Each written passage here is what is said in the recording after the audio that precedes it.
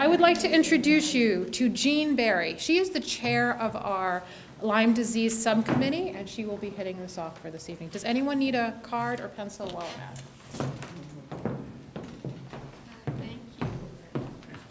I'll let you hear. Good evening, everybody. Thank you for coming. Um, This is a very um, hot topic in our area, particularly Middlesex County and along the Cape and Islands. Um, And Carlisle itself is actually considered a bit of a hot zone. And um, if any of you are familiar with the UMass tick testing program, you can actually go and enter our zip code and see what percentage of the ticks come back positive for certain pathogens. So interestingly enough, just before I came here, I didn't really prepare any remarks. I just figured I'd throw a few little tidbits of fun ideas out for you and then introduce the speakers and we can get along with the, get, get on with the evening. Um, just this afternoon, I went back and put in a couple different dates for Carlisle. For Borrelia burgdorferi, the pathogen that causes Lyme disease, for most cases, there are other Borrelia species that do that as well. But in our area, just in Carlisle, approximately 35 to 45% of the ticks are positive. And this is on average. If you start putting in different dates, you might see lower numbers, you might see higher numbers. It seems to kind of bounce back and forth in that range. So when you are bitten by a tick, you have probably about a 50% chance of actually getting Lyme disease. We're not really sure about the transmission rate, though, so that's, that's a big question. Borrelia um, uh, babesia microti, about 12 to 15% bounces around that, that range. And anaplasma is about 10% of the ticks turn up positive in our area. Um, so those are all very serious infections. They affect everyone a little bit differently.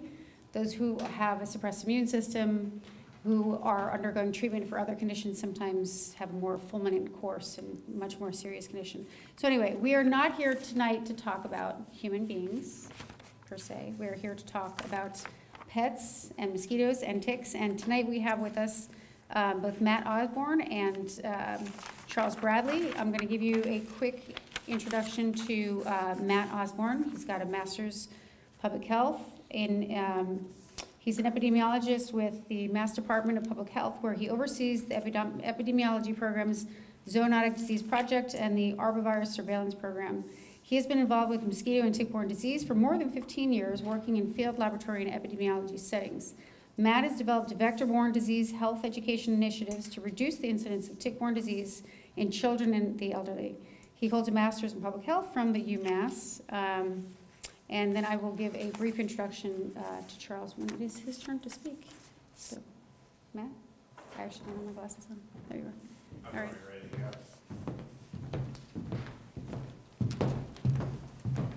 Thanks. Can everyone hear me okay if I stand here? Great. So I really appreciate the opportunity to come out tonight. This is something I'm passionate about. I've been passionate about uh, mosquito-borne disease for longer than I've been passionate about uh, tick-borne disease. But my viewpoints on the importance of tick-borne disease have really dramatically evolved. Uh, we, I focus a lot of my effort on mosquito-borne disease during the summer. But realistically, the burden of uh, zoonotic disease in Massachusetts is tick-borne. And so we're going to kind of frame a little bit of what we talk about tonight, and I hope everyone can see the screen, but if you can, I'll talk about it. Uh, and how few cases we have of mosquito-borne disease, and although serious, uh, showcase how many cases of tick-borne disease we have. So in Massachusetts, we have uh, two main arboviral mosquito-borne diseases that most people have actually heard of, Eastern equine encephalitis, and I'm going to talk a little bit about the mosquitoes, not too, too much, and West Nile virus, which I think everybody in the room has heard of. But Eastern equine encephalitis has been around since the, or known about since the 1930s and likely been around long since before that. We have 51 different species of mosquitoes in Massachusetts. And of these, only about 14 or 15 species actually spread disease in, in the state. In, in your lifetime, you may actually see about 30 or 40 of these species. I've seen most of them. But um, there are two different types of cycles going on that spread these diseases. One is bird to bird, and we call that the enzootic uh, cycle, and there are enzootic vectors. I'll show you a picture of the mosquitoes, you know, really cool. Uh, Culiseta melanura is actually a really fascinating mosquito, which I won't have time to get into today. But then we have epizootic vectors. Those are the mosquitoes that actually bite the birds and the people. So they're taking the virus from the birds and then they're transmitting it to you. Uh, and then for West Nile virus, we have mosquitoes that are really those that are most associated with activities around your home. These are container breeding species. Uh, these are actually mosquitoes that you can do something to control, and I'll show you a little bit about that. Uh, so we really look at Culex mosquitoes, and you know during the summer we're talking about Culex mosquitoes. And last year was a very serious West Nile virus year. We had uh, 49 human cases, uh, but we'll couch that with how many uh, Lyme disease cases we had. And then at the bottom, I wrote down Jamestown Canyon virus. This is a virus we've known about for a very long time, but we really haven't had the means to test for the virus. And over the last couple of years, we um, CDC brought on a new testing tool, and we started to find cases of this disease. So there are certainly a lot of other arboviral diseases out there uh, that we don't see too much of, but certainly Eastern and West Nile, those are our two main uh, mosquito-borne diseases. And this slide, anyone who's in the back of the room, you guys are out of luck unless your eyesight, my eyesight is terrible and I'm standing like 10 feet away from this and I can't see it. So let me just tell you what it says. We had a really bad West Nile virus year last year. Uh, uh, we had 579 West Nile virus samples, and that was uh, tested out of about six, uh, about 6,000 samples. So we had almost a, what we would look at as a 10% positivity rate, which is huge. We don't normally see that. It runs anywhere from 3 to 5% in a really bad year. Uh, we had uh, two triple E uh, isolates in mosquitoes, which is very, very low, and that was fantastic. And for human activity, we had 49 human cases that we're aware of, and we are only picking up the most serious of these cases. So think that there are a lot of other people walking around out there with West Nile virus that's undiagnosed, but we still had 49 that is our largest year since this disease uh, emerged in Massachusetts in 2001. Uh, our prior record, I believe, was 35. Somebody educated me the other day that I might be wrong, but I think it was 35. Um, 400 and, 434 human specimens tested. So again, a little over 10% uh, of what we tested was positive. So a lot of positivity. And then with very, very few animals, there are vaccines, and I think uh, my colleague in the room knows more about the vaccines than I do, but there are vaccines for uh, horses, so they're no longer really good sentinel animals for us. They're surviving, which is fantastic. Uh, but we only had two West Nile cases in horses and one uh, horse death in tri for Triple E. And so what my program does, I, I, hold kind of dual roles at the state health department, and that happens over time. They just keep giving you more and more work, um, and you know they can pay you less, so it's really a great opportunity for them. Um, but I love I love what I do, so I'm happy to run the Arbovirus uh, program.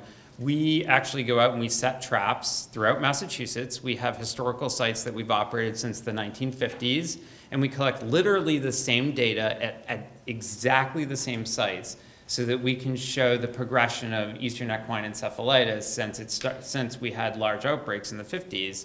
And what we've seen recently is that the outbreaks are becoming uh, more frequent in time and in some cases more severe. So we're really not certain as to why that is, and we're looking forward to the next season, and I'll give you some hints as to what might happen. Uh, but I gave up long time ago telling you what's going to happen because I've been wrong. Um, I don't know, but uh, we test uh, specimens for Eastern equine encephalitis and West Nile virus at the State Laboratory Institute where I work. Uh, we test them in real time uh, through molecular methods, so PCR, so we have information within about 24 hours. It's a really, really fast system. Uh, and then when the data comes in, my other side of the program the epidemiology program, we take all of that data and we assign risk. So we're putting out risk maps to the public, we're putting out messaging to the public. You know, we keep telling you to use repellent and we actually mean use repellent. Um, I'm much better about it since I've had Lyme disease. I use repellent a lot. Uh, but we also communicate with our local health agents and the, our mosquito control projects, and they take action based on that. And these are just some of the traps. So if you ever encounter a weird box in the woods and you're wondering what it is, just leave it alone. Um, it costs money and time, and believe me, people disturb them and they're curious, but these traps collect uh, mosquitoes for West Nile virus, And that actually, that is actually, you can't see it with the pointer, but that little box down there, it's actually literally a wooden box, and it works really well to collect the species of mosquitoes that likes to rest inside of it. So we come along with a vacuum cleaner and we suck them out. It's a, actually a highly efficient uh, trap, and it costs almost no money. Um, we like to do things for very little money. Um, this is a trap that we use for eastern equine encephalitis uh, surveillance. It's actually been in use since the 1950s, almost unchanged. Uh, it has a light bulb and we can attach any attractant we want to it and we've caught up to 40,000 mosquitoes in one trap and we sort every single mosquito, every one. We count every one and we maintain a database of it. So we really try not to catch 40,000 mosquitoes. Uh, so these are um, some of our past staff and they're working in the laboratory identifying our mosquitoes and then in our uh, testing units where they're actually going through doing the PCR work. And so for Eastern equine encephalitis, it is known as the most severe arboviral disease in the US. And unfortunately, we have it, and we've had it for a long time. It has an incubation period of anywhere from two to 10 days from the time of the bite of the infected mosquito. And the symptoms get progressively worse if you um, exhibit symptoms. Most people do. Uh, they, it starts out with headache, high fever, nausea, potentially uh, lethargy, and then seizures, coma, and, and possibly death. Uh, in Massachusetts, we do have a high rate of mortality for this disease. Uh, two of every three individuals uh, either will succumb or they'll suffer lifelong neurological damage. So it is a very, very serious disease, but it's an extremely rare disease. In the worst years that we have it, we're looking at six or seven human cases. So these half of those individuals may succumb to the disease, but still we're talking about six or seven people. We take it very seriously, but as we move into tick-borne disease, you'll see the differences. And this is Culiseta melanura, a very plain brown mosquito. Um, if you don't know anything about mosquitoes, this won't mean anything to you, but it has a really, again, I can't use the pointer. It has a really long proboscis. That's how it feeds on uh, birds. And it has an a, adapted proboscis so it can get through the feathers. It's a really cool mosquito. Um, this is its habitat. Uh, th this is a cedar and maple swamp, and it's, it's actually a really interesting mosquito. I'm going to spend way too much time on this. I know I am. Um, it lays its eggs under the root system of trees and, they, and the larvae develop under the root systems of trees. So if you're trying to control this mosquito, you can't because you can't get the material under the roots of trees. You can only control the adult phase of the mosquito. Um, and this really beautiful mosquito here, which looks terrible, and this is fresh and new, this is a species called Coquillettidia perturbans. I guarantee you that no one in this room is going to run into Culiseta melanura, but everybody will run into that species. It is one of the most aggressive biters we have, and it's also one of the best vectors for eastern equine we have in the state. It feeds both on birds and mosquitoes, I'm sorry, both on birds and mammals. So that's, um, that's where the danger comes in. If, you're, if you just feed on birds, then you can't transmit to humans. If you just feed on humans, then you're not picking up the virus. This female uh, feeds on both, and she lives for a really long time. So the, the deal is, the longer your lifespan is, the more opportunity you have to pick up the virus is. Unfortunately, she lives for a really long time. We're talking about three months. So that's in mosquito days, that's old. And by the end of her life, she looks like, she actually looks worse than this. Um, this is the habitat for Coquillettidia perturbans, so if you can remember that, just let it roll off the tongue, Coquillettidia perturbans. Um, it, it's, it is, again, I can't get into it because I don't have enough time. It is one of the most fascinating uh, mosquito species. It's a cattail marsh mosquito. It breeds in this area. But actually, right across, if you look at the uh, forest, that is a cedar and maple swamp. So these species are right on top of each other. And when the viruses come out in these swamps, they're in proximity to pick it up. And that's why we see transmission. So unfortunately, Triple E is mostly an eastern disease, and Massachusetts and Florida really are vying for the role of having the most cases.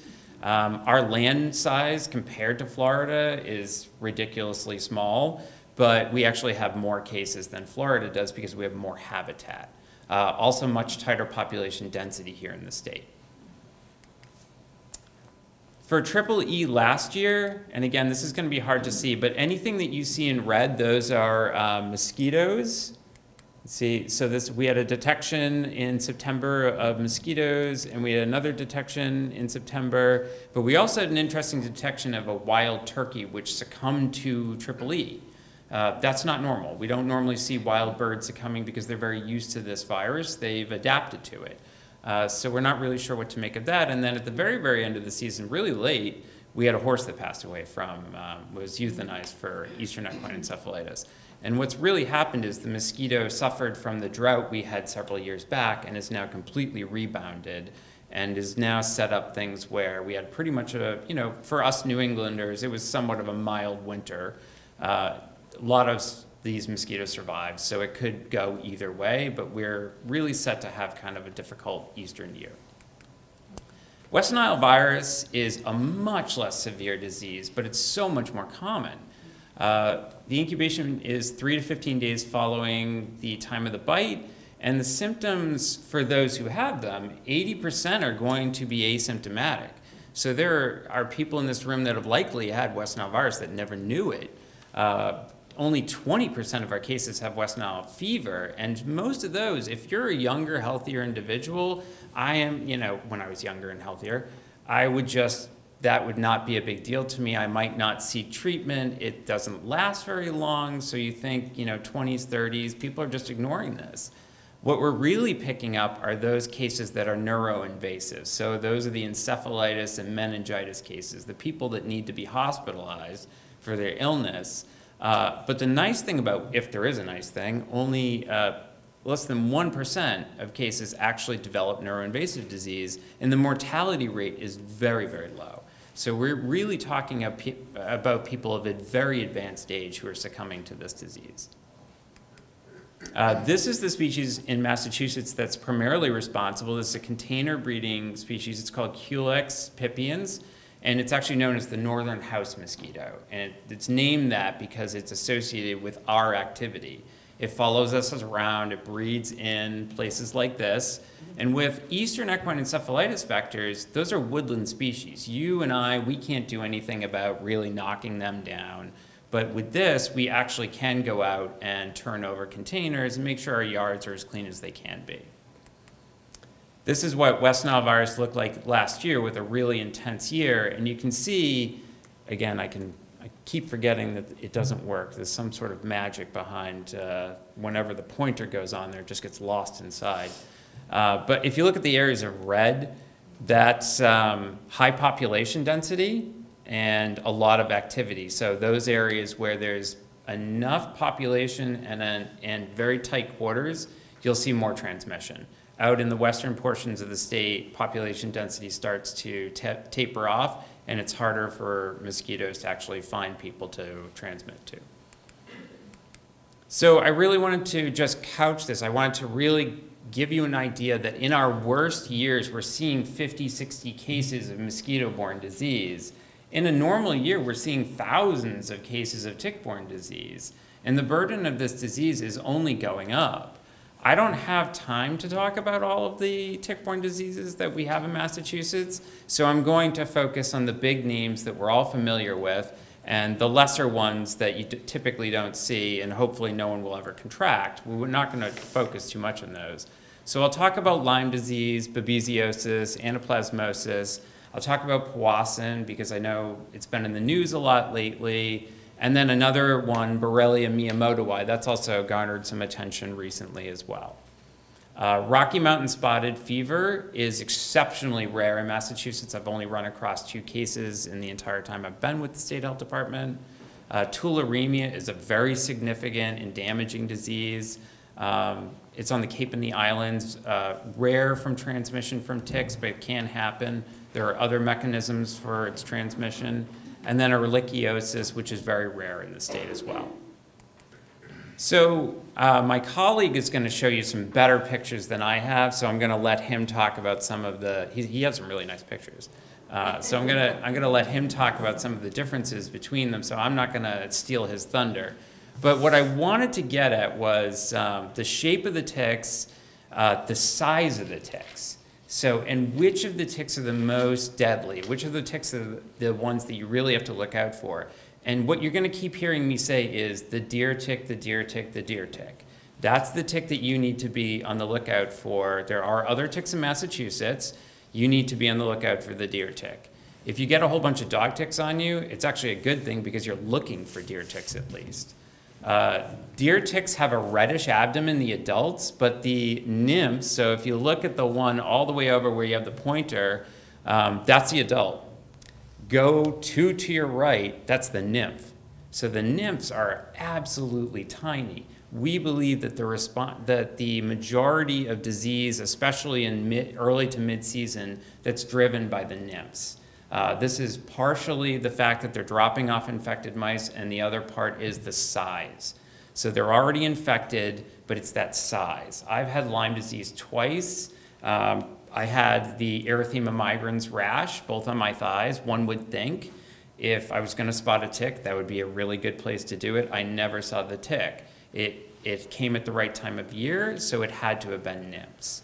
Um, the adults are about the size of a sesame seed, and if you look on the bottom, if you can actually see that, that's a realistic size perspective of what an adult and a nymph look like. So really, really tiny, which means that you can't solely rely on tick checks alone to catch all of these. There have to be other tools that you use in your arsenal to make sure that you limit your exposure to these ticks. And again, I'm not going to steal because I don't think this picture is as good as what you have. But look at the size difference above dog tick and below deer tick. The dog tick is twice the size of the deer tick. The dog tick is much easier to identify. It's actually, it's striated, it's, an, it's a much larger tick. And the deer tick is, is quite a bit harder to find. So where do they live? Well, in Massachusetts, pretty much everywhere. Um, they live on your property. But what they need is humid environment. So there are certain areas that they cannot cross, and if you maintain your personal environment and you're aware of what you're walking into, it's going to give you a net benefit to limit your exposure to these ticks. They really need shaded, damp areas so that they can stay humid. If they cross a lawn with a lot of solar radiation, they're going to dry out, they're going to die. They're not going to make the trip. So if you set your lawn up correctly and you set your personal spaces up correctly, you're going to limit the spread of those ticks in your environment. And it turns out that your house is probably one of the riskiest places that you have. That's where you spend the most time. So if you have a fence line, well, that's shaded. It's some part of the day that's shaded. That's where they're going to be. So these are the areas that you have to go out into your yard and say, where is it most likely? I live on a wetlands. My whole yard is tick habitat, but I know what to look for and how to set up my property. I know what to keep away from my house. Um, leaf litter too. Leaf litter is actually a big problem for us. So in the fall, we see a little uptick in our number of cases. And why is that? Well, everyone's cleaning up their yard and they're standing in the leaves. And believe me, I do the same thing. I got my boots on, I'm out there, and then I lift up my pant legs and I got ticks feeding on my ankles. Um, people are standing in the leaf litter, and that's something you need to be aware of because that's moist, they're in there. So it's all of these little things that you might not think of as being risks. So when are they active? Today. They're active right now. Um, people tend not to think about that. They, th they think summer equals ticks. Any temperature above 41 degrees Fahrenheit, they're out there, they're active. Below in the leaf litter, they mean some activity level. Uh, the nymphs are active right now. They'll remain active into going into July, and then the adults are active as well. But there are both life stages out there as well. I did drags the other day, and I picked up both adults and nymphs. So this is a time that you have to be aware. This is a peak period of time for exposure to occur. I'm not going to get into this slide, especially because half of us can't actually see this really kind of complex slide here. But what I wanted to get at is the, the danger of the nymphs. The nymphs feed on infected mice. They then drop off. The nymphs are already infected. That small life stage, they're ready to go, they're ready to transmit. The next, what they're really looking for is a larger mammal. Well, you're a larger mammal and you ran across their path. So they don't know the difference between, they're not going to turn you down. They're going to get on you and they're going to bite you. And, it's a, and we'll talk about attachment time, but the longer they're attached, the higher the risk for you goes, it goes up. So this is just something to think about. Of course, the the adult females are really important, but it, we believe it's the nymphs that are causing a huge proportion of the disease. And if we, you know, a lot, you know, we always talk about the deer and the impact of the deer.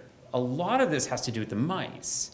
Um, we have all set up our yards in certain ways. I have big wood piles in my yard. I know that there's mice living in there, so I, I keep them as far away from my house as I can stand, you know, so I can go out and get the wood. But I keep them pretty far away from my house. Um, and I ensure that there isn't a lot of other areas for the mice to nest around my house because I don't want to encourage more mice.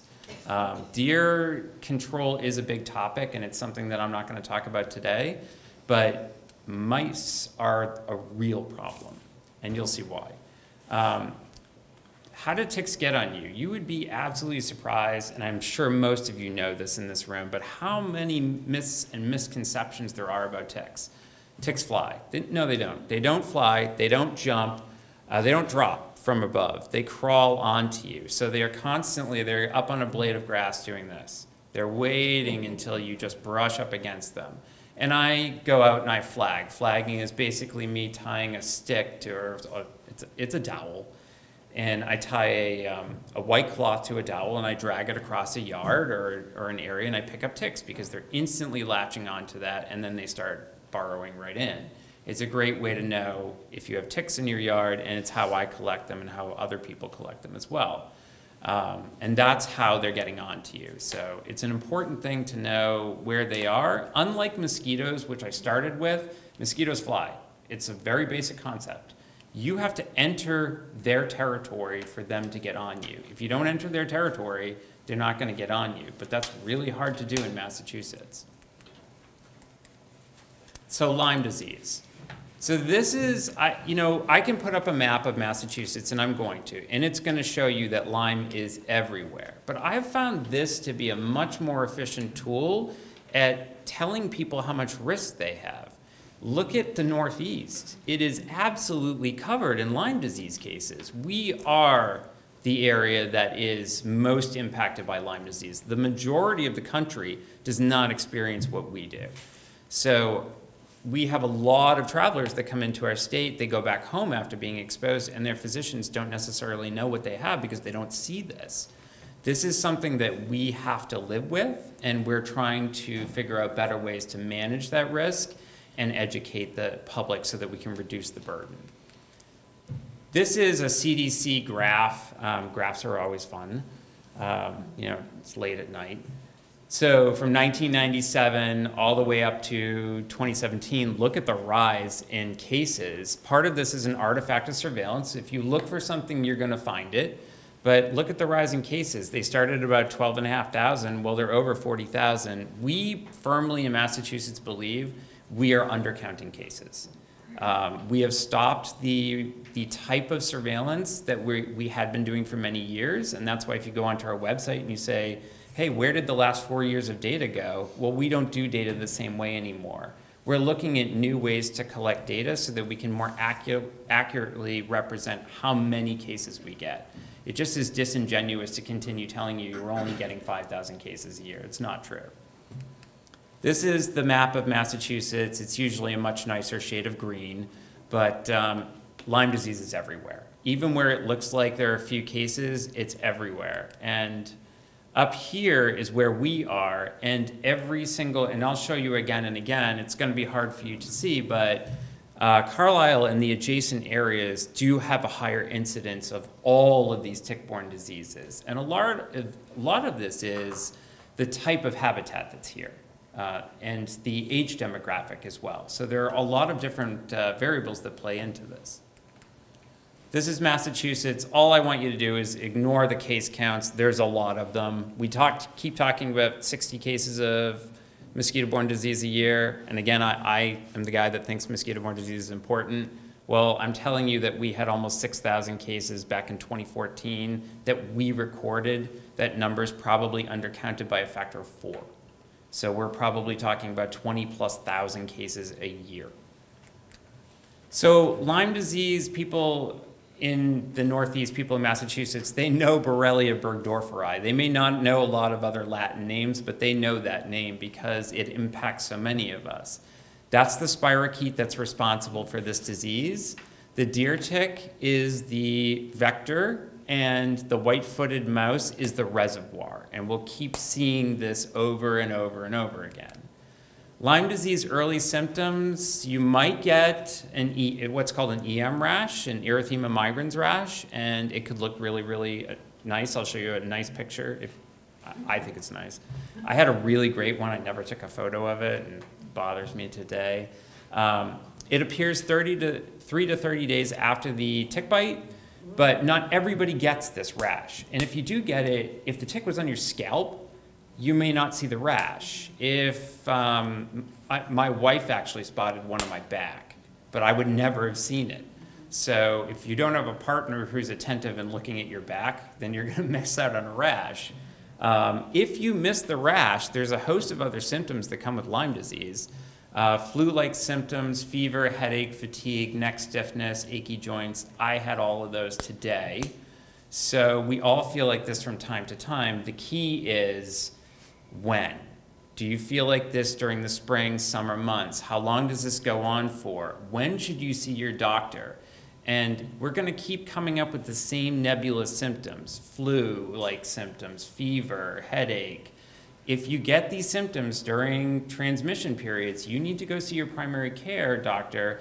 Tell them that you live in, a, you know, if, if they're listening to you, you live in an area that's endemic with ticks, get tested, and continue to follow up with them because sometimes the early tests are negative.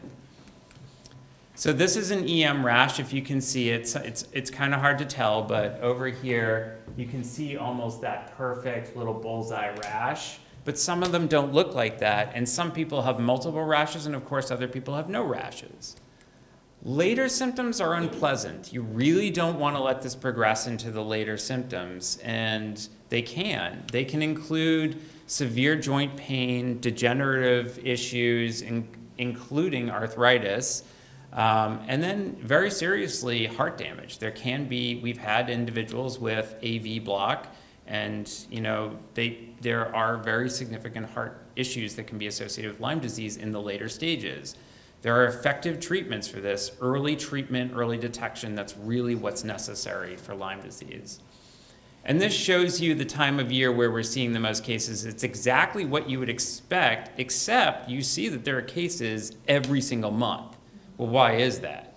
Well, some of these are later identified, and some of these are people wandering into the brush during the middle of the winter, developing rashes and flu-like symptoms.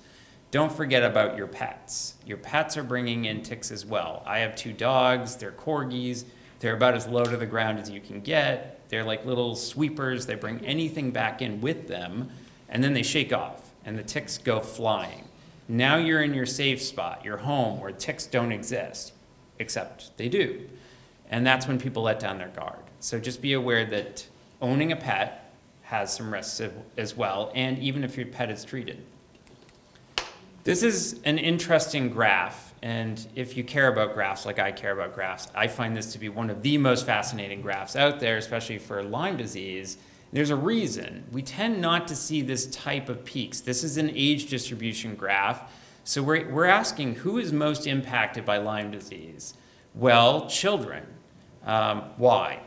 Because of their activity. These are kids, they run into the woods, they go do things, they run back in the house, they don't bathe as frequently as we would like. They wear the same clothes too often. Um, I tell parents frequently when your kid of a certain age within this 5 to 14 age group comes in and they've been in a tick endemic area, grab their clothes, throw them in the dryer for 15 minutes, kill the ticks, and then make them take a shower. And it's going to really dramatically drop the risk of them developing Lyme disease. This is in addition to tick checks. Who else is at risk? And I say this with all due respect for who's in the room, the elderly. I believe me, I'm on an upward trend towards the elderly. I'll be there in no time. So I'm going to be in this category at some point. It's our immune systems. Unfortunately, as we get older, our bodies don't work as well as we would really like them to. Um, and many of us retire and we have more free time.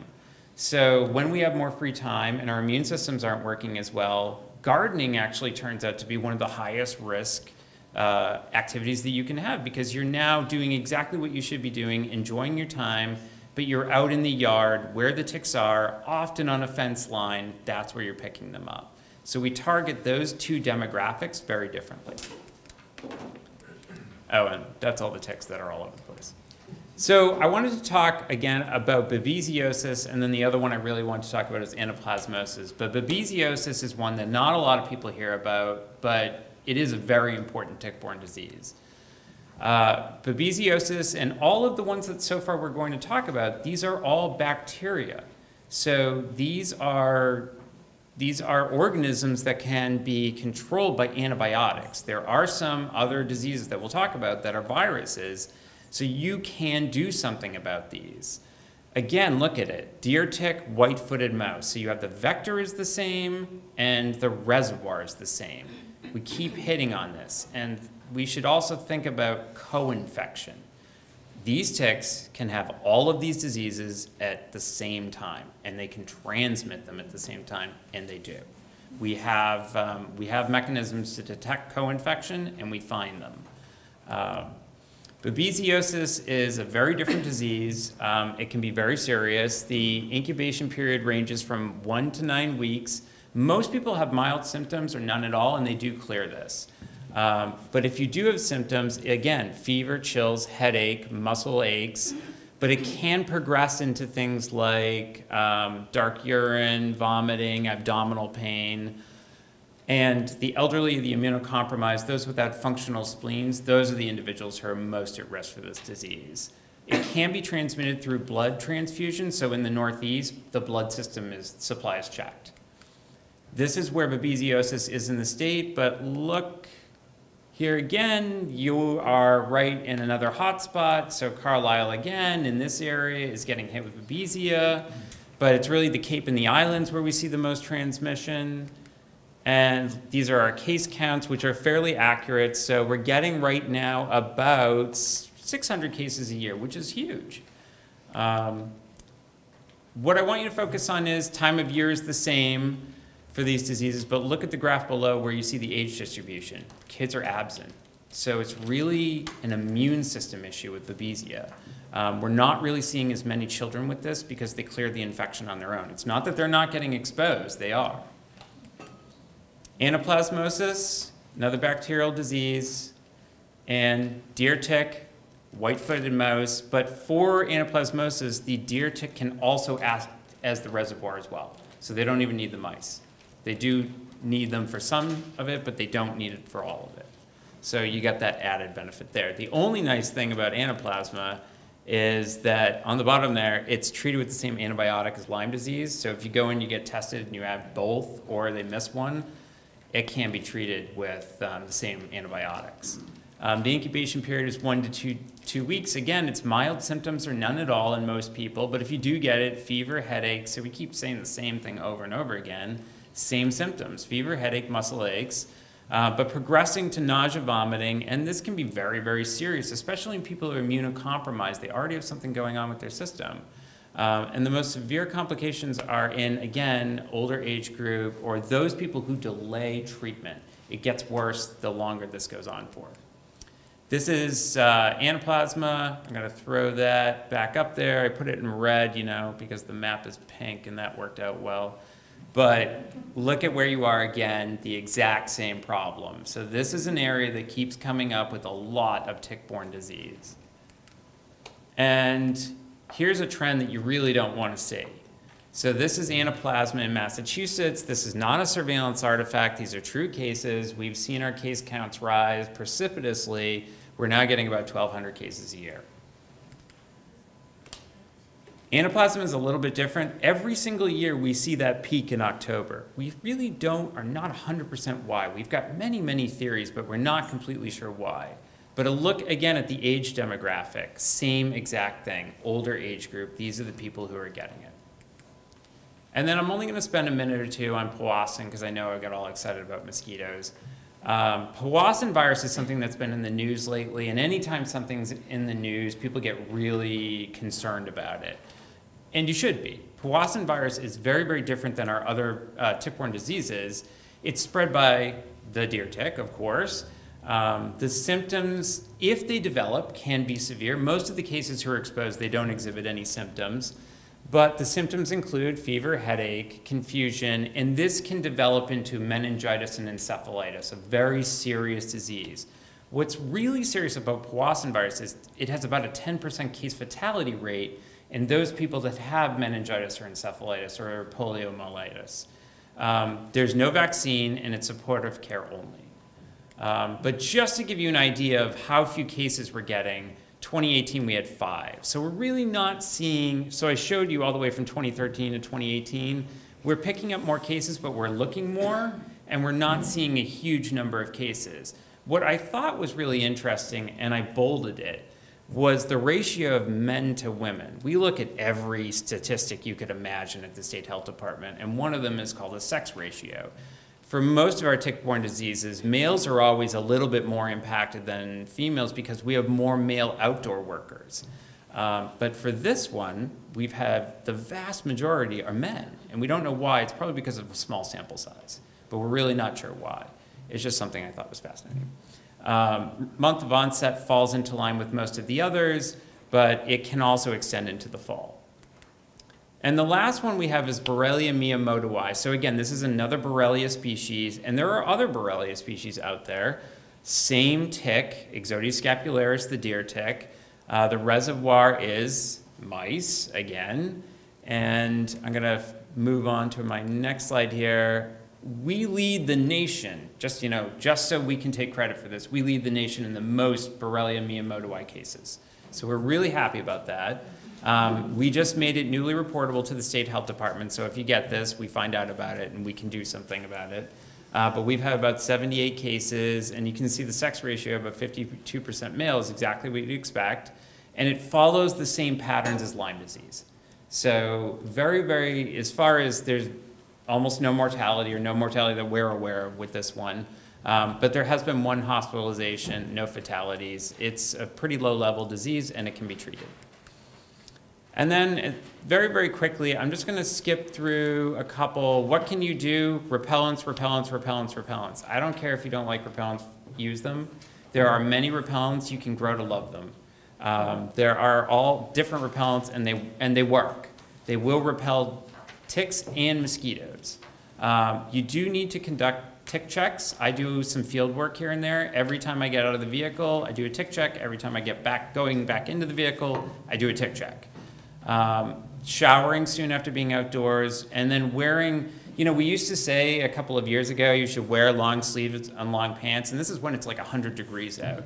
And that was, it, was, it was silly because we're telling this to kids. Kids who walk around in shorts, you know, in 20 degree weather.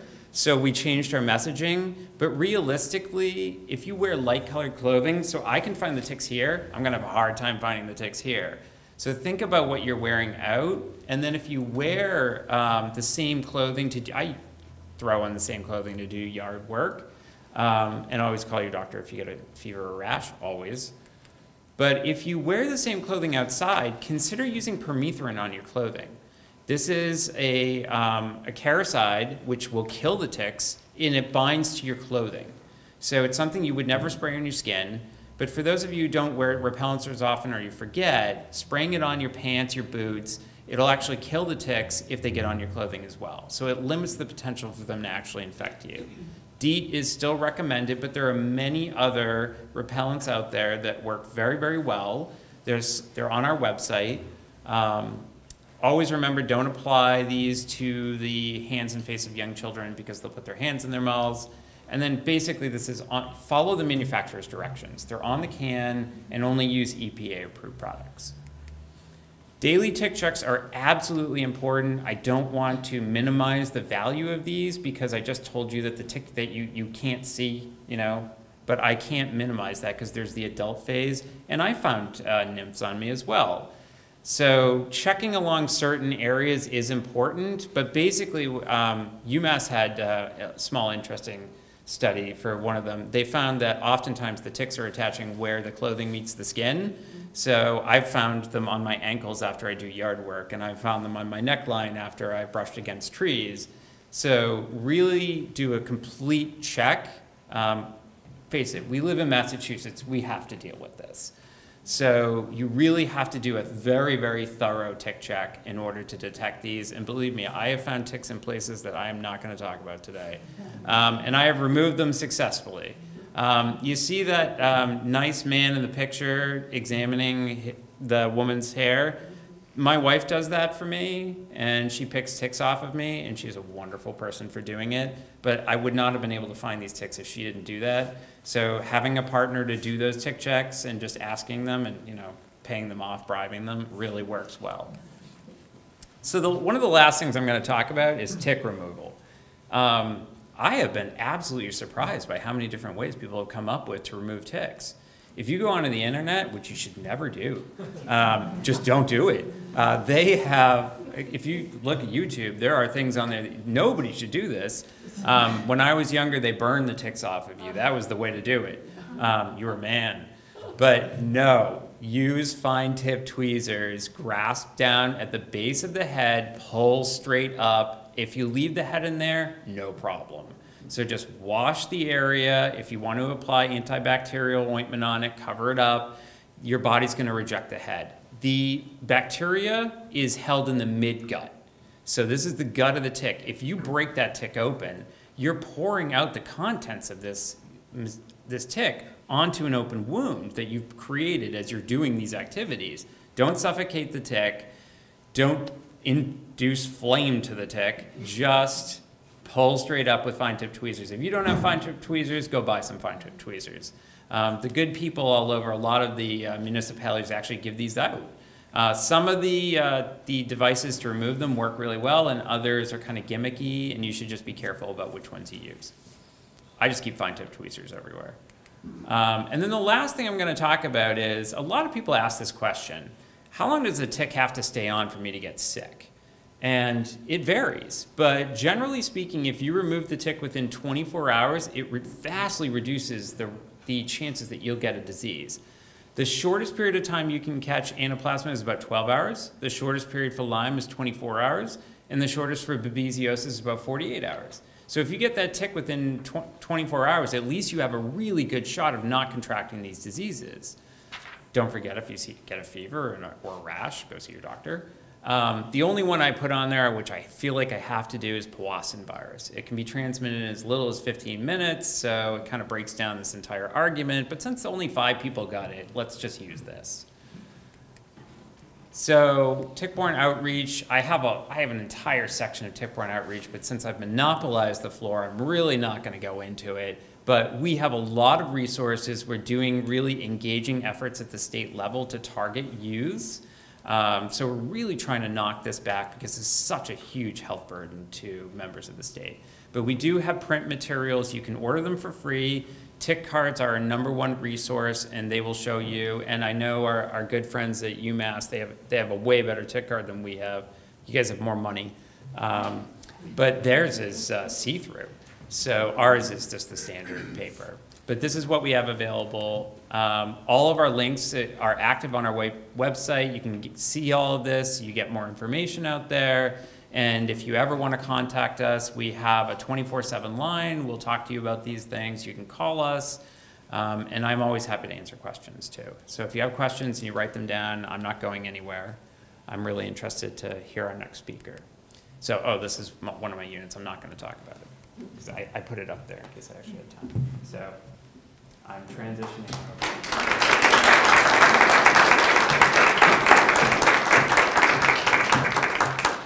Okay, our next speaker, thank you very much, Matt, that was wonderful. Um, Our next speaker is going to be Dr. Charles Bradley. Uh, He's been prac- a practicing uh, veterinarian for 35 years with a background in large animal medicine, veterin- veterinary consulting, feline practice, and now has a general small practice in Concord. He is uh, a 1983 graduate of Ontario Veterinary College and has been in Massachusetts since 1985. He currently owns and operates a small clinic in uh, West Concord, lives in Carlisle with his wife, his two cats, and thank you for these details, Charles. Cats' names are Rosie and Cosmo. That's right. There we go. And his elder dog, Frank. He has seen a lot of tick-borne disease with his work in Concord and in many practices in eastern Mass and in southern New Hampshire. He is very excited to talk to you about his experiences and his own data that he's collected in his practice. All right, thank you, Charles. Thank you, Jean. I'm Charles Bradley. I'm not a professional speaker. I don't know how to do PowerPoint, so uh, this is a first time for me. So I'm really excited to talk to you about what I talk about every day. So I'm going to pretend that this is an exam room and there's only like two people in the room. So let's get started. Actually, I want to ask a few questions. How many people have a dog at home? Oh, okay. How many people have cats at home? Right? Any horse people here? No? Okay, so I will have a word for horses afterwards. So tick, mosquito, tick and mosquito diseases, this is mostly a tick talk. I do have one mosquito-borne disease that's very, very important, and we'll talk about that as we go along. So that's Frank. He's an elder dog. And uh, I want to talk to you about Frank later on. He has taught me so much about Lyme disease and anaplasmosis over the years. Frank and I lived in Ontario with the family, and he was the only dog that I found positive for Lyme disease in southern Ontario while I was there. Uh, it was a real stark difference. You looked at that map earlier. There's an incredible difference in the incidence of these diseases as we go throughout the country and the continent. This is Cosmo as a kitten. He's well named. He is a crazy cat, and I'd like to talk to you about him a little later on. Cosmo is an outdoor cat. He brings in ticks and all kinds of stuff, and we're going to talk a little bit about him as an example of feline uh, tick-borne disease. Risk factors. That's the entrance to Towle Field on the lower right, and the upper picture is my yard. And basically, you see leaf litter. The pets go out there, the people go out there, they get ticks. I mean, that's just the reality. We find ticks every single month of the year at, at our animal hospital. Uh, Frank just came in with a tick after a, a quick walk uh, earlier this week. They're there every single month of the year. All right, so that's a, that's a key thing. So this innovation, the SNAP 4DX by IDEXX, was probably the way that we as a veterinary community found out about tick-borne disease in dogs. I don't know if anybody remembers back in the day when you go to get your dog to have a heartworm test once a year, and usually you would do it in May, April, and we call that heartworm season. So IDEXX came up with many buttons. There's several blue dots on that test kit. And the way that it works is you put a drop of blood into the top here, you snap it down, and then you'll have the answer of whether the, the pet has any of the four diseases. So the 4DX stands for the heartworm test, Lyme disease, anaplasmosis, and Ehrlichia. So we can derive a lot of data, uh, and we do have some data to share a little later on. So historically, April and May. Now, I want to just debunk that heartworm season thing. That is really old school. We check dogs every single month of the year. We see an uptick in the number of dogs that come to see us at this time of the year. But heartworm should be thought of as a, a year-long disease, and I'll get into that later on. PCR polymerase chain reaction panels. That's a big boy test that costs a lot of money. It's the only way that we can find Rocky Mountain spotted fever. And sometimes we'll have a negative 4DX and we don't know why the dog is still limping. So we will do the PCR panels. They run about $200. So that's pretty pricey. So that becomes a practical limit. So the ticks that we see, we saw this earlier, the black-legged tick, Ixodes scapularis, that's the big one. That is really responsible for a lot of problems. I do see the American dog tick, the brown dog tick rarely, and we have seen Lone Star ticks, and I've got some pictures. These are great pictures because they are provided by Dr. Michael uh, Dryden. He is the guru of tick-borne disease in America. He's out of Kansas State University, and he shared these images with the Lyme Disease Subcommittee for educational purposes. So the deer tick is everywhere. The deer tick is absolutely everywhere. I've heard it said at some of my veterinary talks that the deer tick displaced the uh, dog tick in, in Massachusetts. I've heard up to 50% and more of the deer ticks carry Lyme disease, so the 45, 50% rate here in Carlisle, that really resonates for me. So Lyme disease and anaplasmosis. Anaplasmosis is really coming on. We don't see very much Lyme disease in our dogs anymore in my practice, and I'll, I'll talk to you about that in a bit. That's the engorged deer tick. It really often fools you. I was working in Ontario, as I said, for one year in 2009. A lady brings that tick in and she says, I think it's a deer tick. I said, No, no, that's not a deer tick. They have a completely different system there. They send the tick into the veterinary laboratory for identifying what's in it. And sure enough, it was Lyme disease. It had Borrelia burgdorferi in it. So you can get very confused on ticks depending on whether they're engorged or not. Uh, so removing them from pets, that's the key thing because it's the time of attachment. That's my thing. I really think it's the time of attachment. So we have to get rid of these ticks and we have to have some strategies. And we'll talk about that. That's the American dog tick, Dermacentor variabilis. Uh, it used to be more common, as I said. It can transmit Rocky Mountain spotted fever, ehrlichiosis. Sometimes I'll go through stretches where that's all I see, and I don't see a deer tick. I think about a year and a half ago, for three or four months, every tick that we pulled off was a dog tick. I don't know why. It's just a very interesting anecdote. I'm giving you a very like seat of the pants, empirical uh, talk because I live in a clinical world. So I'm just giving you some of my observations as I go along here. The brown dog tick, look at that engorged female. That is amazing. That is, that is a tick that can live inside the home. And it is responsible for Ehrlichia and Rocky Mountain spotted fever. The Lone Star tick, yes, Ehrlichiosis, Rocky Mountain spotted fever. Uh, Stina, who's uh, with me, she's a veterinary technician and she's my wife. And we saw a dog on a Saturday afternoon. The gentleman was visiting and he said, I don't know what this, what is this dust on my dog? And I said, I'm not really sure. This is kind of strange. And we dusted the dog, and all this dust came off the dog. It was a long haired dog. And Stina said, Well, wait a minute. There's specks on that dust. And they were Lone Star tick larvae. And the gentleman was from Long Island. And that's the only case of Lone Star tick that I've seen locally. Tick attachment, that's a picture I took at my clinic. And I'll tell you my way of taking ticks off. I just developed it as I went along. What I do is I put a drop of alcohol. I have alcohol in every of the one of the exam rooms. I just put a drop of alcohol on the tick, and then I take a needle driver, which would be a very fine tweezers basically.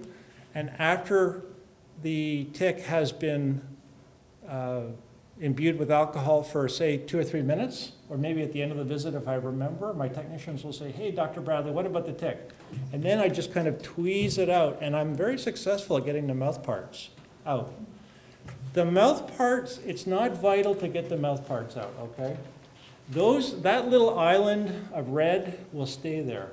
I looked at a dog this afternoon, it had the same thing on the muzzle, and I thought, oh, that dog probably has like a, an abscess or, or some kind of a tumor, but I could realize, I put my head loupe on, I saw that there was just tick mouth parts inside that area. And that's okay, you can leave those mouth parts there.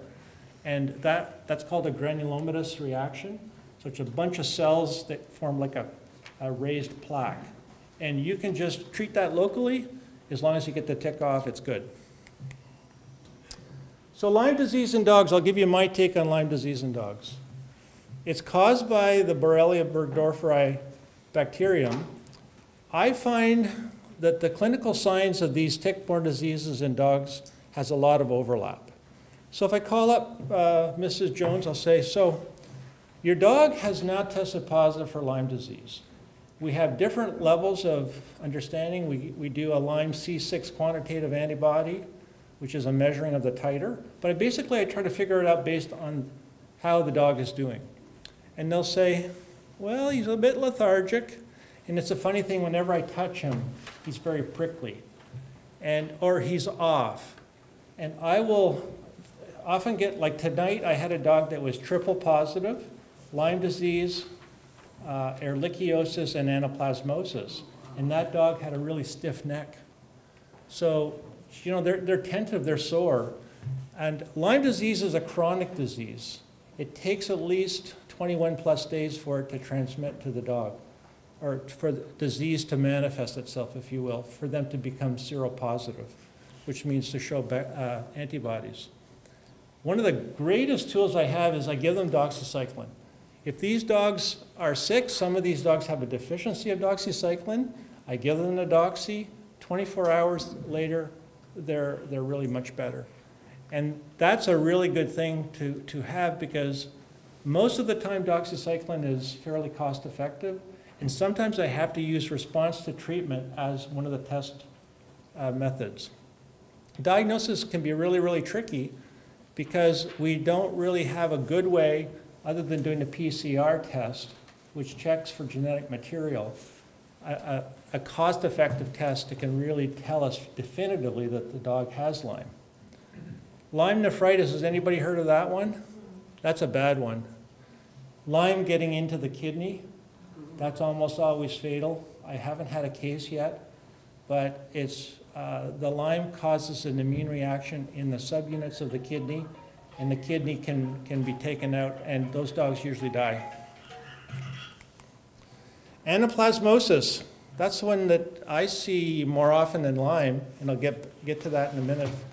It's the Anaplasma phagocytophilum. Clinical signs very similar to Lyme. Some of the subtleties about anaplasmosis in my practice would be that a lot of times the people will call back like three months after the diagnosis and say, my dog is limping or my dog is just a little bit off. I'll look in the notes and I'll see that the platelet count, one of the things that we do is we check a platelet count. And if the platelet count is kind of borderline, we try to figure out whether this is a real infection. And we might say, okay, it's not a real infection, but yet three months later the dog gets sick. Then it will respond to doxycycline. Again, it's doxycycline that, that treats it. Um, sometimes those dogs need uh, 60 days of antibiotics. Uh, 30 days is the standard treatment plan for both Lyme disease and anaplasma. So it's a lot of work, right? You're, you're giving your dog 60 administrations of an antibiotic to do one month. That's a heavy lift. If you do two months, it's 120 times you have to pill your dog. So that's a lot. So uh, it is more frequently diagnosed than Lyme, and we're building this case. Lyme disease needs 24 hours plus in a dog to cause disease. So Lyme disease needs the deer tick to be attached for about 24 hours plus in order for the, uh, the, the Borrelia burgdorferi to get from the tick into the dog. Anaplasma, three to six hours. So we'll talk about that as we go here. Ehrlichiosis, I see it, I get positives. Dogs are, are it's almost the same thing as anaplasmosis, and they can stay positive for like five years. They can show antibodies for five years after infection. So again, doxycycline. Rocky Mountain spotted fever, it's rarely diagnosed. I need a $200 PCR uh, test to, to diagnose that. So I don't know if it's here. I would love it for it to be a 5DX and have that on the button, but we don't, we don't have that. Uh, that is a little bit different disease. It can cause rash, rashes, fever, bruising, vague signs, as well as the lameness. Okay, here's my thing, treatment. I think many veterinarians do a wimpy dose of doxycycline. I do a big boy dose. Uh, one of my things that, one of the things that I did in my career is to be a consulting veterinarian. So I was in 40 different, 40 plus different animal hospitals. Some were specialty centers, some were emergency centers. So I picked up a lot of trivia, factoid, anecdotal information. And the thing that I retained was you need a 10 milligram per kilogram twice a day dose. So that's a very big dose, and I want to knock those organisms out. And I will get animals that will test negative after treatment. So that's my thing. If you ever are worried about dosing, you usually get a dramatic improvement uh, in 24 to 48 hours. Side effects, not that common, surprisingly. Uh, you can get vomiting and diarrhea sometimes, but usually the dogs tolerate the doxy very well. And we went through a period when doxycycline was very expensive. It was costing two and three hundred dollars to treat a dog, but now we're down to reasonable rates under hundred dollars for even the bigger dogs. So duration of treatment, 30 to 60 days. That's my finger, same picture Matt showed, tiny, tiny organisms. So Lyme disease needs 24 hours of attachment, anaplasma and Ehrlichia only three to six hours. I find that the worst months are March and November for ticks. Just really crazy the number of ticks that we see in November. They're always there. They're they're just always there. There's no tick season. Okay, let's talk about the old school preventatives. Most people still use these. Uh, there is no such thing as a, a repellent or a bubble of protection. Every tick preventative in a dog requires the tick to bite the dog. I don't know of any way to get the dog to have a bubble. If anybody knows, let me know, because that, that would be what everybody would want. Um, the repellency is poorly defined. There's different standards on what is a repellent. What does it really mean? Will the tick be um, uh, repelled, or will it mean just two hours of attach, attachment versus 12 hours? There's lots of controversy on that. The brand names that you'll hear about are Advantix, Frontline Plus. Uh, those are the big two. We used to carry Frontline Plus. I don't think it works anymore. Frontline Plus is a real legacy product. The thing we've also found out about the Frontline Plus is that's the one where you have to put the liquid onto the dog's skin. And a lot of people said they didn't like it because it's gooey and messy, and they were concerned about their children getting in contact with, with that liquid, which is a chemical. So, you know, that made sense, but I only know that after we got into the new preventatives. The collars, they're good, and they are an adjunct, but they don't kill ticks until 24 hours. So that's a problem. I don't know of any holistic or natural methods. I would love that, but I don't know of any. So the new preventatives, I like those. Isoxazoline oral medications. Big FDA warnings out on the internet. There is the actual FDA warning, and the big thing that they're worried about are tremors, ataxia, and seizures. So we have had one or two cases, we've been using it since 2014, where dogs had shaking and tremors, or that it might have caused them to be a little unsteady on their feet, which is what ataxia is. But I think generally they're very well tolerated drugs. I only know NexGard. I used to know them all because I was in different places, but I'll speak to NexGard. They're so confident about their product. That's a Boehringer Ingelheim product. We just got a briefing. They have a label claim against Lyme disease now. So if you use that product, they will say that Lyme disease won't come to your dog, which is pretty amazing. Uh, Bravecto, Simparica, Credelio, they're the other brands. Here's the, here's the take-home point. Most of the ticks are killed within 12 hours. That is incredible. Think about it. Uh, Lyme disease needs 24 hours of attachment. The tick is going to fall off at 12 hours. That's a good thing. Where do you get the information? So a lot of this is out there in the internet, but I like to, to send you to sites that are, are legitimate and not selling you anything. CAPC.org, Companion Animal Parasite Council. That's a great place to go, and they have incidence maps, and you can see that the shaded areas are where Matt's shaded areas were. So capcvet.org. You should really rely on your local veterinarian too. The veterinarian really knows what's going on in your town, in your location. He knows your family, he knows your dog. That's a great relationship. And I'm going to plug that relationship because you should buy your preventatives from him or her. You should maintain that record, that conversation. That is so key to us helping you guys because that relationship is what is going to generate information and it's going to generate good health. there's a little website that IDEXX offers too called the Pet Health Network.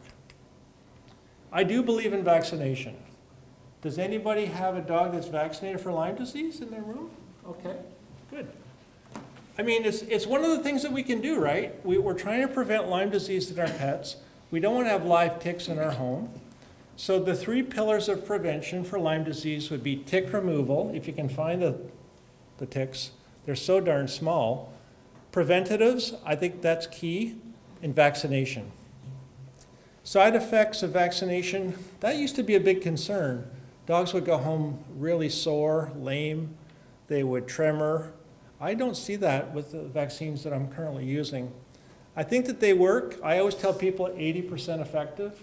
I know that they don't last more than, the immunity is probably 8 to 14 months, and it's arguable. So I would say that yes, you should do it. There's cost to it. Everybody's going to think differently about things. So we always have a conversation, we tailor it to the family and to the pet's needs and the risk. Okay, here's the data I wanted to present. Uh, we tried to partner with IDEXX. They have all the data on all the samples that we've sent from, from our practice. We started in 2013, and we would have maybe 200 dogs that came to see us in 2013. It was just really the beginning. And all I did was I would hand out Lyme, uh, doxycycline. Doxycycline, doxycycline. Every dog had Lyme disease. So I said to one of my technicians, can we find out about this? So we went into our database. We have a practice management uh, database that collects all of our data. And we were really shocked at how Lyme disease went down. If, I'll just explain this chart, but you can see the number, you can see the colors. Lyme disease is blue, anaplasma is the one that jumped up a bit, and Ehrlichia is the one that's at the bottom, the green. So Lyme disease went from 10 to 1%. That means that 10% of all clients who came to see us in 2013 had a dog with Lyme disease. Now it's 1% of clients have a dog with Lyme disease.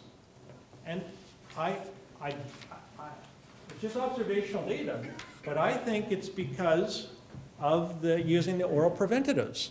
Because most people said, hey, I like the oral preventatives. And I was surprised because I was thinking, around here, nobody's going to want to put a medication into their dog. Nobody's going to want to put a chemical into their dog to kill ticks. And they told me, no, we want to do that because we don't want to have ticks. We don't want to have that greasy chemical stuff on the back. And we can never get that frontline plus down to the skin anyway. So the oral preventatives are incredibly easy. You just give the dog the preventative and you're done. Do it once a month. So that's pretty dramatic. Now you see the anaplasma. It didn't really go down, the red line. The anaplasma is a three to six hour tick uh, attachment before transmission occurs. So the oral preventatives can only kill, uh, say, by 12 hours. So the line went really a lot down uh, much more rapidly compared to the, uh, the other. Ticks, pets, and people, just some reminders. Cats in the bed, dogs bringing ticks inside. We've talked about that. They're everywhere, year-round protection. Okay, I'll talk about Frank, how he taught us quite a few things. So Frank, one time, we did a blood test on him, and I think it was the anaplasma. I did a CBC, a complete blood count. He was positive for anaplasma. And then I said, oh, well, what does that mean? I better do a follow-up test. So I did a complete blood count to check his platelet count. And it was about 200,000, which is totally adequate. But my threshold is 200,000. If they're under, I get suspicious. If they're over, that's just me. And I said to my family, I said to Stina and Kelsey, I think he's fine. And they said, no, you're wrong. I said, okay, well, what do you want to do? Let's try him on doxycycline. Oh my gosh. We gave him doxycycline. 24 hours, he was like a brand new dog. It's like he had lost five years. He was really active. So this is really confusing even for the veterinarian. And as I said before, Frank was the only dog who found Lyme disease in Ontario. And he convinced the rest of the uh, veterinarians in that practice to do 4DX testing on all the animals. And a year later, the guy calls me up, my colleague, the other veterinarian said, hey, Charles, I'm sorry we, we made fun of you over that 4DX, but now that you convinced us to do the 4DX, now we're starting to find Lyme disease. So Frank was influential in ways he didn't understand. So that cat there is Reggie.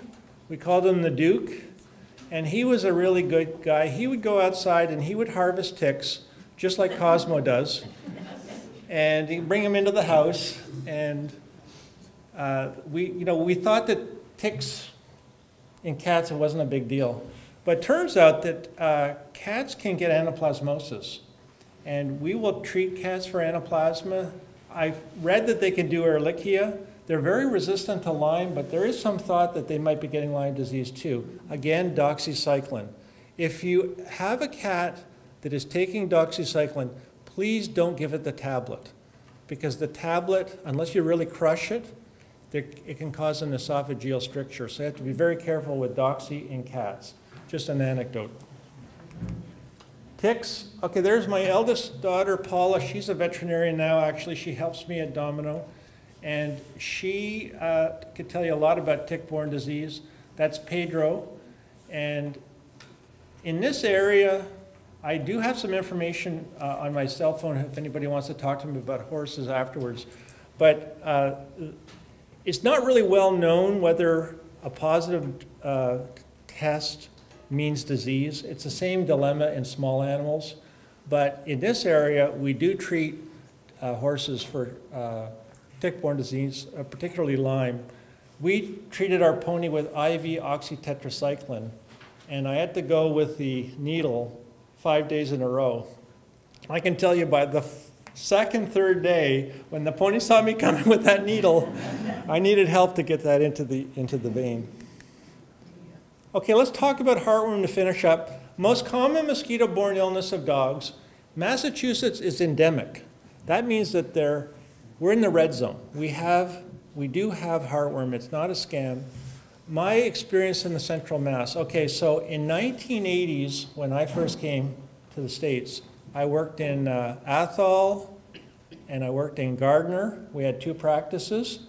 And I used to have people say, oh, no, I don't believe in heartworm. I don't think that that's, that's right that you sell that stuff. That's a scam. I'd say, okay, could I just take a blood test then? No charge, I'll just take a blood test. Oh, yeah, that'd be great. So I'd draw the blood, and I would go to the back and put a drop of blood under the microscope, and I would look at, at the sample, and half the time I could see the little larvae, the microfilaria, swimming. So I'd say to the lady, okay, could you come back to the lab? She'd look down, and that meant her dog needed heartworm treatment. That was a sad time. Back in those days, to prevent heartworm, you had to give the pill every single day, the filaribits, and if you didn't give it every day, if you missed a day, the dog would get heartworm. So we're so far ahead now. And I wonder if we have herd immunity. I wonder if we have so many dogs in heartworm preventative that we've been able to drive down the, the reservoir. Because the reservoir is any canine. So a mosquito takes a bite from an infected canine and takes the mosquito, the mosquito transports the larval form into another dog. If your dog is on heartworm pills, your dog won't get it. So the life cycle is such that if you give, say, a heartworm pill on September 1st, you're protecting against what happened in August. So I had a guy one time his dog got heartworm because he did the six month heartworm season, but he had the wrong six months. I tested his dog, it had heartworm, and he had bought the heartworm medication from the veterinarian. So those secret guarantees were actually invoked. And the company, when they when I called up for support, they said, Did he buy the heartworm pills online or did he buy them from the veterinary hospital? He bought them from the veterinary hospital. So he got $250 towards the treatment and he got a year's free supply of meds, and they said it was his fault, but they would still support him. So that's why I want you to think of heartworm as a, a year-round uh, problem. We are in the zone. If I showed you that zone in 1985, the red would go way, way up into Massachusetts. So the bullseye is Arkansas and Mississippi, the lower Mississippi Valley. So if your dog is spending any time in the south and you think you have a six-month heartworm season and he's traveling with you, you might get a bad surprise. Heartworm prevention year-round, we do that annual heartworm test every single month. I don't like the injectable ProHeart 6. That is probably, needs some more time to be well proven. I know that there were some problems with it before it was introduced many years ago. Can I tell you about the treatment? It is horrible. We had a dog called Stella who came to see us, and that was one of the most helpless feelings I've had in my career as a veterinarian. I gave her the injection. It's an arsenical. It's based on arsenic. I gave the injection into her muscles. And then I had to give it the next day. And she was in utter agony. I've never had anything like that. Oh, I I can't even tell the story because I couldn't do anything for her. I tried all, the- all the pain meds, and all I could do is just, she just went home. So prevention, no treatment. The end. That must be the end. Thank you.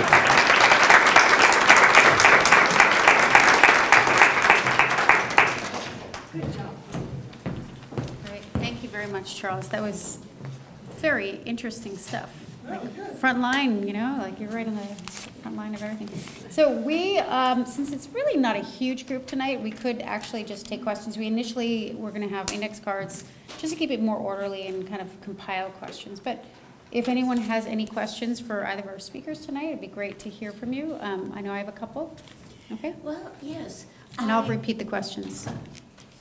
Oh, my question is, um, for humans, I think, um, I'm hearing about all these other treatments that are offered besides antibiotics that will help to make the recovery process more effective.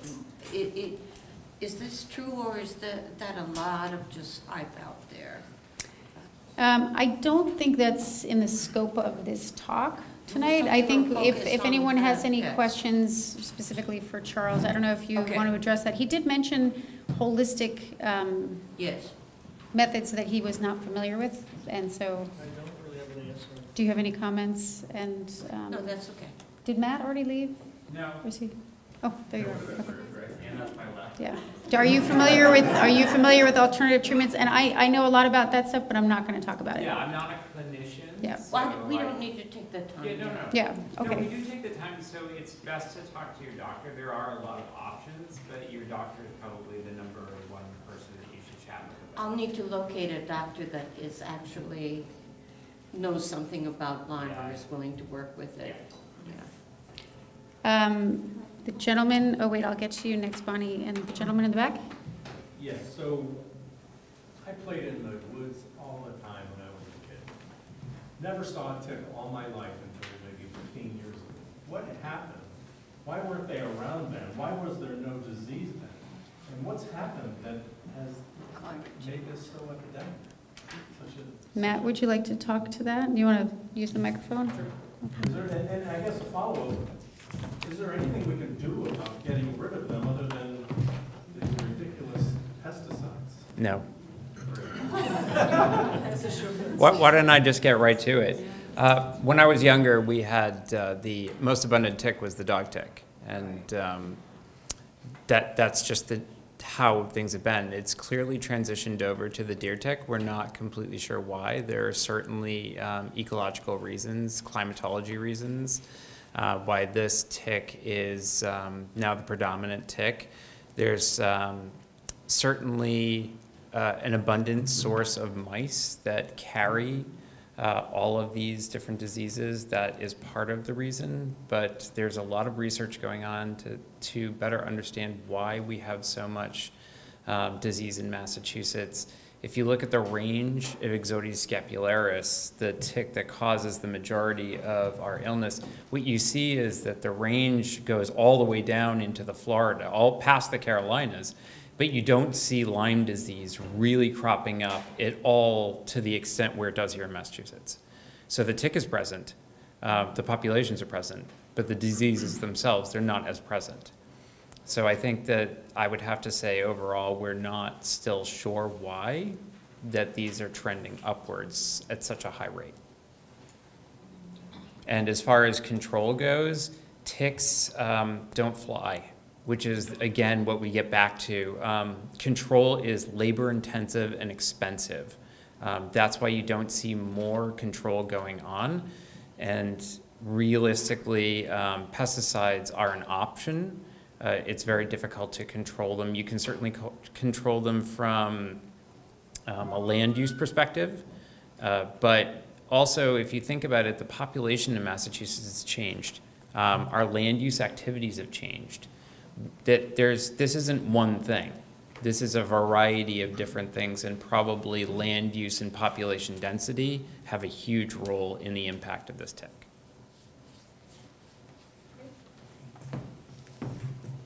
So just, just quickly to add to that about tick behavior, um, there, there was a conference I attended recently that discussed the differences in behaviors of the Ixodes scapularis tick in the south versus the north.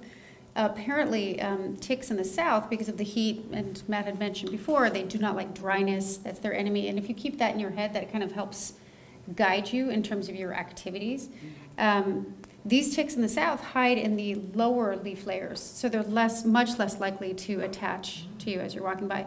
In the north, where we are, our ticks are very friendly, and they hang out near the top, so you're much more likely to be um, bitten. So even if the pathogen burden in each of these ticks is about the same, there's a difference, at least in that regard. Um, That's kind of interesting. Sure. Um, There are lots of uh, vendors around that spray a cedar oil repellent that they claim will keep ticks away. Does it work? The question is about cedar oil and does it work? Do either of you have any information on that? We're on film still, right? Excellent. So I'm putting DPH's perspective out there. Um, any oil will work. So what you're really doing is you're suffocating the tick. So ticks are hard-shelled bodied, so you can actually apply any oil to the tick and you'll suffocate the tick. There's a repellent effect. Uh, you know, DPH doesn't administer pesticides or any oils or anything like that, and we don't advocate one position or another. Um, the consumer is welcome to take whatever service they want. From a research perspective, yes, cedar oil does act as a repellent. Is it efficient resource for your, your hard-earned dollars to spread cedar oil all over your yard? I think that's a decision you'll have to make, but you could use a bo- bottle of canola oil to, um, to suffocate ticks. Uh, so there are, there are benefits to cedar oil, but there are certainly, um, there's certainly a money-making perspective from these companies. And, and again, this is up your, how you decide to spend your money. Yes, it would work, but so would a lot of other oils. And we would not usually disperse olive oil in this manner either. Another question I Yeah. can't resist asking. How long does it take to count 40,000 mosquitoes? Well, we stopped after 12 hours and we came back the next day, and then we stopped after that 12 hours and we came back the next day. So it took us about three days, but thankfully they were mostly the same species. So, and we had several helpers, but this is in addition to our normal workload, so.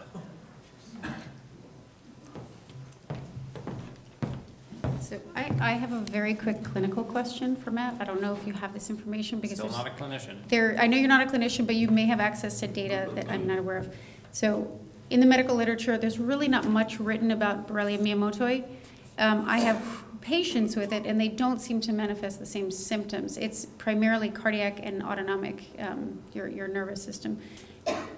Do you have any information about the clinical disparities in terms of presentation? Because most of us do not have access to testing for Borrelia miyamotoi. It's Right. usually at specialty labs, and even that is not easy to do. So um, it's a little labor intensive. Do you have? We, we haven't seen a huge difference in the types of symptoms for these cases, There but. might be overlap. Right, there's a lot of overlap, and also because the testing is not uniform throughout the state, there's probably a lot of uh, cases going undiagnosed. Mhm. So the amount of cases that we have is actually too small for us to really make a hard and make a fast decision. decision. Yeah. Okay, great. Yeah. Okay, Thank you. Okay, Bonnie? I haven't heard a single mention of climate change. Now, when I moved here in 1966, there was no such thing as a deer tick at all. And my husband died of anaplasmosis in 2012. And everybody that I've spoken to says climate change is part of the picture. The warmer winters allow the ticks to live. So- And now they're even in Canada. I, I'm going to make a comment just quickly about the warmer winters. Warmer winters don't necessarily actually translate into tick um, populations dropping.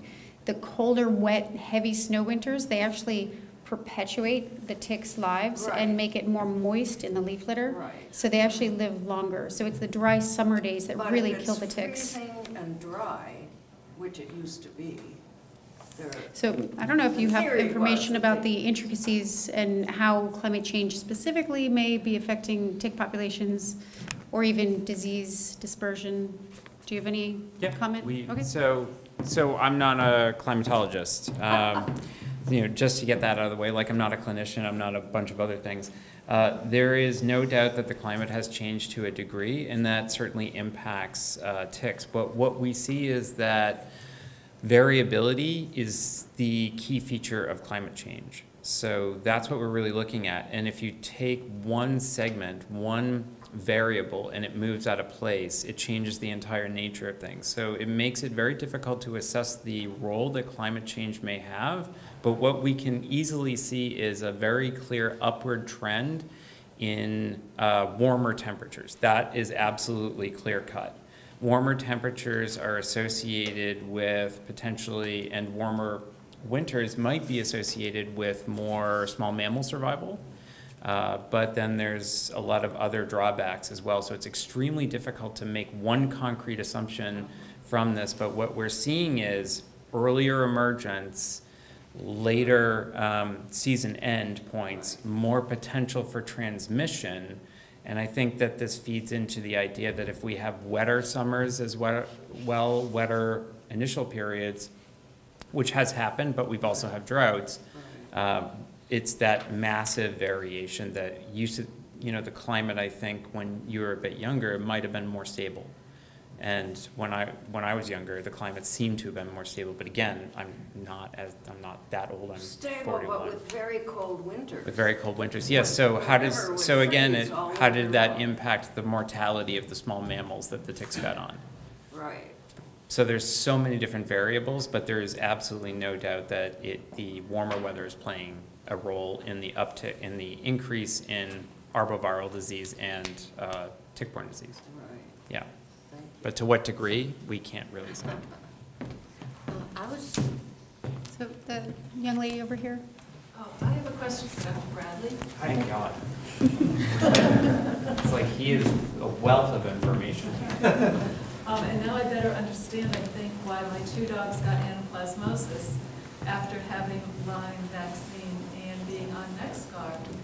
Is there anything else I can do, a a tick collar or anything else you would recommend in addition to the, the NexGard that I give them every month? Right, so the NexGard would, would be, or any of those in that category, you could choose.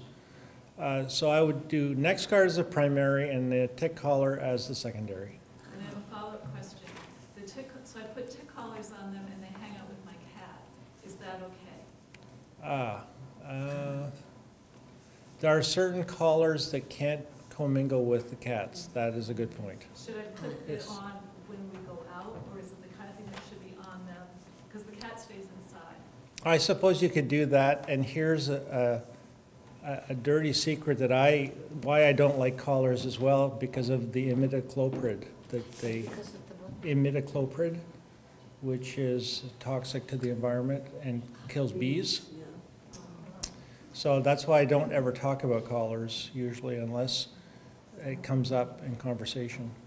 Uh, the Scalibor collars don't have collars don't, but Celest- this uh, Seresto do. Does. Yeah, Celestro, Seresto does, yeah. Yeah. that's the one I've heard. Advantix Yeah, it is works well. too, I believe. All right, well, Yeah. thank you. Yeah. say in relation to that, so I have a friend who always had ticks on him and his dog, and he started using, um, made up a spray that he researched, and he was using hundred percent essential oil of eucalyptus and lemongrass, twenty drops of each, along with an ounce of witch hazel and three ounces of distilled water. that summer, he had had, summer before, he had had anaplasmosis. And um, the next summer, when he used it, his dog had one tick the whole summer, and he was pretty clear, so. I can also remember the cat. A lot of different. I can also remember the cat that almost died of tea tree oil poisoning. And uh, I was doing a shift in an emergency clinic in Springfield, and I didn't realize it was that toxic, and the cat almost died. I mean, it was Which oil was it? tea tree oil, Tea tree. yeah. Well, this is supposed to be okay for people, for children over two, and animals, dog. Okay. Yes, So, uh, actually, two questions. I do agree with going to your vet and getting the medication and Thank you. monitoring through because uh, the vet has been um, a great resource for us and all of our animals of what else is happening in the neighborhood because they Right. see animals coming sick. Right. So he got um, ure- that one. Ehrlichia? Yeah, Yes. uh, Ehrlichia? Causes uh, stiffness of the neck and right, and yes. um, definitely an osmosis. My question is, I didn't quite uh, get um, uh, your, uh, I have my dogs on um, Advantix. Okay. You said, how long does Advantix, uh, how quickly does it kill the tick on them? I understand that re- repulsion works by the tick dying on a dog and. Right. basically, you know, you should check the dog and. I'm pretty sure it's 24 hours plus for Advantix to kill a tick. So the uh, oral one works better than It's faster, that's why it's more effective. It kills the tick faster, and the time of tick attachment was my point. I think that that's what we proved. It's not proof, it's, it's observational data, but we, we believe that the oral medications work faster, and the tick falls off before it has a chance to exchange from its mouth parts the organisms which live in the tick. So Ehrlichia is transmitted in three to six hours, Anaplasma is three to six hours, and Lyme is 12 hours. So that's why the orals are better. Okay, and a- uh, another quick question. Um, I I wasn't here for for the earlier, uh, tick tubes. Do you see um, that they are working? Do you do you get any feedback about Tick this? tubes? Tick tubes, yes. I, I uh, cannot yeah, speak to that. Because it works on the. That um, says yes. Yeah, It tick works on the tubes. mouse. So um, oddly enough, we have kind of a low level, we, we don't actually advocate for the use or disuse of pesticides. Tick tubes, we, um, we do not like. Uh, We don't think that they're a good idea in the environment. The mice that um, you would want to take up the, so basically what a tick tube is, if you don't know what it is, is um, it's a uh, toilet paper roll full of cotton balls that had been sprayed with permethrin. Um, These are sold at a, quite an upcharge. Um, So I think the last one that I saw, a box of these was about thirty dollars. I don't know if you have priced them out recently. Yeah, about thirty dollars, and you can make them yourself if you so chose to. But we, there's a couple of unanswered questions. Are the um, target mice taking them up? What is the impact of exposing so many mice and the ticks to uh, pesticide usage? And if the right mice are not uptaking them, then what is the alternate problem with putting them out in your yard and exposing them? So we talk about things, especially with mosquitoes, about resistance to insecticides. Um, These are classes of insecticides. If you res- induce resistance to one of these insecticides, you can potentially encourage resistance to others within the same class.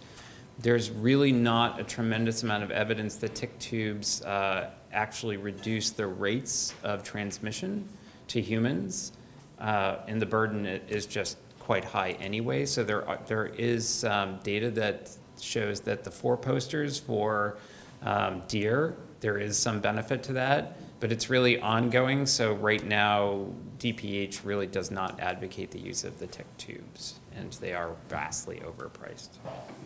Can I interject another solution? I've been using Irish Spring soap for the last five years to keep the deer out of my yard, and it's been working quite well. They break through sometimes, yes, but I figure I'm not getting that many ticks anymore, and I, you can either hang it on a tree, uh, you know, put it out now, it'll last till next spring, pretty much, even though the soap, you know, will disintegrate as the winter goes on. Um, as a bar. Some people grate it, it didn't work for me. I also put it on stakes around high plants with my lilies that I want to save. And you're change, they don't like the smell of it, so you're changing their pathway. They can go to your neighbors maybe. As long as you're driving them to your neighbors, you know you're being successful. She doesn't care about Do you feel like you have any closing comments to make, or should I? No, I'm good. Would everybody be okay with, if you have specific questions for Matt or uh, Charles, to just come up and speak with them briefly? Or is there anything that anyone feels hard pressed to share with the group? Because it is kind of getting late. I Yeah? have one question you might be able to answer. Okay. If you have had, I think you wrote an article once, and it was in the mosquito, about the bullseye rash, that if you actually have a bullseye, it's like winning the lottery. I might have said that. I, I, I don't, I don't, I just mean, and the point what being that Yeah. it's so, you, there's so many infections that that particular symptom would be, I mean, you're lucky to get it, it shows that you've been bitten and infected, but most of the time, you don't know that you've been infected. Mm-hmm. So if you don't, if you, if you do not have a bullseye rash, and you don't, and you've been bitten, is it possible to be bitten by an infected tick for Lyme, and to develop disease, but not be actually aware of it? Some kind of chronic disease? Absolutely. The question is, can you have Lyme disease or one of these other infections? Even there are questions about chronic Powassan virus. There, there are pathogens out there that we're starting to identify in ticks that we don't even recognize as human, human pathogens. There are a lot of things out there, not to freak everyone out before you go home, have nightmares tonight. Um, But yes, you can have chronic symptoms, not have a bullseye rash, not have typical things, even like we were talking about before. Borrelia miyamotoi can present with very atypical symptoms. Um, And it's not under your typical Lyme, even though it's under the umbrella of Lyme disease. Um, So there are different species, and each, within each species, there are different plasmids that code for different types of presentations. So that's a whole other talk. But um, what we'll do is convene, and thank you very much for coming. This has been really very interesting, and I want to thank our speakers. Tonight, you guys did a wonderful job. Very